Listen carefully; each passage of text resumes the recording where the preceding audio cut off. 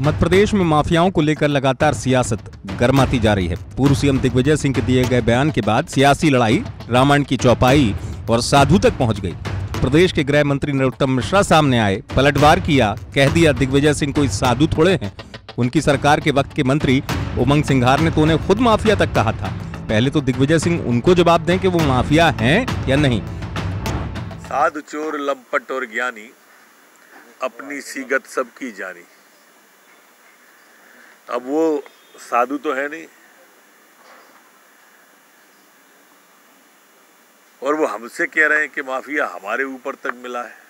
दिग्विजय सिंह हमसे कहे या हम दिग्विजय सिंह जी के बारे में कहें, कोई बड़ी बात नहीं।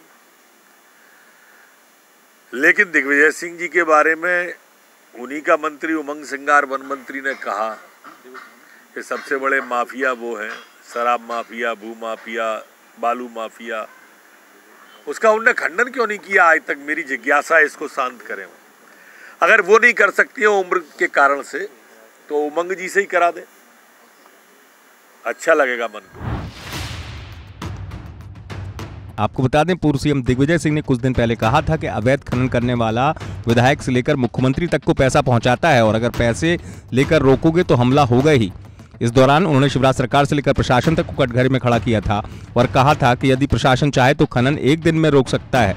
इसलिए अब इसी मसले पर सियासत गरमा रही है। माफिया के नाम पर सियासत में धार भी है, वार भी है और पलटवार भी है। ब्यूरो रिपोर्ट एमपी तक।